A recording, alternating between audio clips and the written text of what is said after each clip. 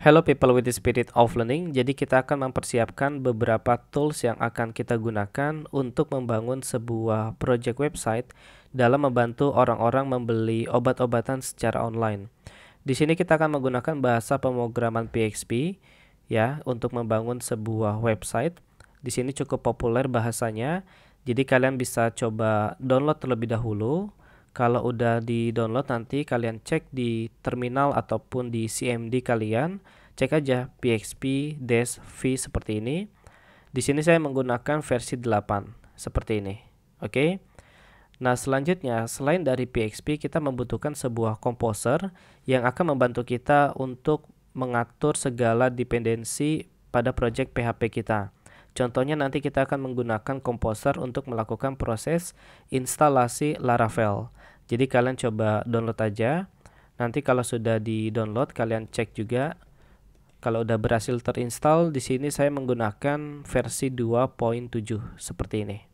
Oke. Okay? Nah, selanjutnya uh, karena kita akan fokus ngoding ya, bukan desain, jadi kita akan menggunakan Visual Studio Code untuk mengatur segala project website kita.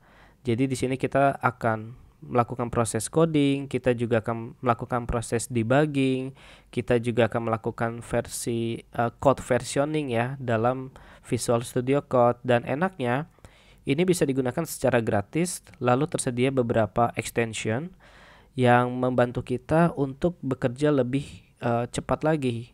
Tapi bukan cuma cepat ya, uh, yang berarti adalah produktif dan hasilnya juga lebih bagus lagi seperti itu. Jadi silakan di-download aja. Dan selanjutnya kita akan membutuhkan sebuah MySQL. Di sini kenapa kita membutuhkan MySQL? Karena kita akan menjalankan server kita di lokal ya. Dan kita akan menyimpan beberapa data kebutuhan dari project kita nantinya. Oke. Jadi uh, oleh karena itu kita membutuhkan MySQL untuk uh, mengatur uh, sebagai penghubung antara project kita uh, project Laravel dengan database management nantinya yaitu adalah dbeaver. Oke. Okay? Jadi di dbeaver sendiri kita akan gunakan software ini untuk menyimpan seluruh data kita. Ya, jadi di dbeaver tuh enaknya kita juga bisa melihat uh, database-nya seperti ini ya. Jadi memang kelihatan relasinya juga seperti itu. Dan di Beaver ini gratis. Jadi teman-teman bisa langsung download aja sesuai dengan sistem operasi kalian seperti ini. Jadi untuk tampilannya tuh kurang lebih seperti ini nanti ya. Ini ada relasinya, ada beberapa table yang akan kita bangun pada project kita nantinya seperti ini. Dan apabila proses uh, PHP, Composer, MySQL, DBeaver sudah selesai, di sini selanjutnya adalah kita akan menggunakan Laravel. Yes, sebuah populer framework uh, untuk project PHP ya. Jadi di sini juga dokumentasinya sudah cukup lengkap kalau kalian ingin baca-baca terlebih dahulu. Di sini kita akan menggunakan versi 11 yaitu versi terbaru ya, di mana uh, beberapa filenya tuh projectnya jadi lebih ringkas dan nggak apa-apa nanti kalau misalnya ada error misalnya teman-teman tadi belajar versi 5 atau 6 langsung ke 11 itu nggak apa-apa kita ikutin ikutin bareng-bareng aja di sini nanti ya belajarnya biar tidak tersesat dan kalau ada error juga nanti kita akan perbaiki bersama seperti itu. Jadi kita akan menggunakan Laravel dan Laravel sudah menyediakan sebuah starter kit namanya adalah Laravel Breeze. Di sini kita bisa menggunakan Breeze untuk mengatur beberapa fitur unggulan pada sebuah website misalnya seperti fitur login, fitur daftar, terus juga password reset, email dan juga sebagainya.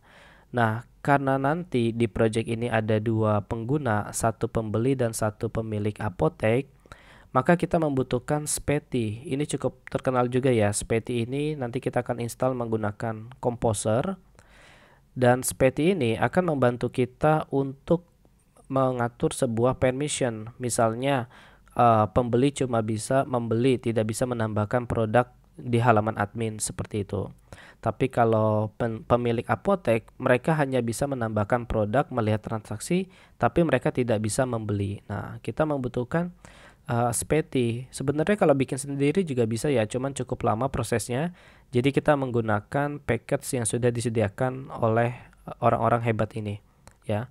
Dan to be honest, beberapa project besar lainnya mereka juga menggunakan Speti. Jadi uh, di sini kita belajar mempelajari sesuatu yang sudah digunakan oleh banyak developer lainnya sehingga ke depannya nanti kita bisa bekerja sama dengan mudah. Selanjutnya di sini kita memiliki sebuah software Figma. Sebenarnya ini opsional ya, karena kan kita kerja sebagai web developer, biasanya juga kita perlu belajar menggunakan Figma ya kalau ke depannya nanti.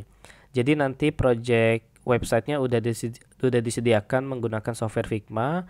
Kita bisa lihat sendiri nanti kita bisa download ya uh, pada menu yang sudah disediakan oleh uh, eh, BWA jadi kalian bisa cek di video ini di bawahnya ada beberapa menu untuk mendownload aset ya. Jadi kalian cek dulu aja di bawah video. Biasanya ada di situ untuk download aset. Nah, mungkin kalian nanti ingin menggunakan Figma untuk menambahkan fitur baru. Itu bisa. Kita sudah menyediakan project masternya juga untuk dimodifikasi. Dan yang terakhir adalah kita akan menggunakan sebuah uh, framework CSS yang cukup populer yaitu adalah Tailwind CSS ya. Jadi nanti kita juga sudah menyediakan sebuah template HTML di mana kalian nggak perlu melakukan proses slicing lagi dari Figma ke HTML, udah kita sediakan dan hanya perlu kita ubah aja kepada uh, ke dalam project Laravel.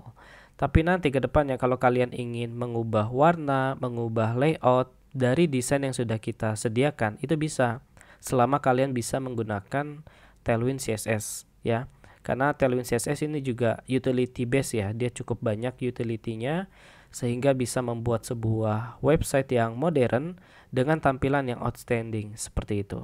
Oke. Jadi pastikan siapin dulu semua software yang dibutuhkan. Nanti kalau sudah selesai semua bisa kita lanjut pembelajarannya.